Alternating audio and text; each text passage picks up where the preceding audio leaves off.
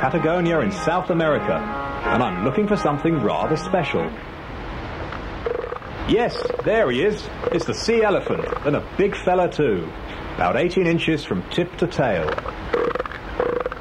That downturned snout's nearly 18 feet long.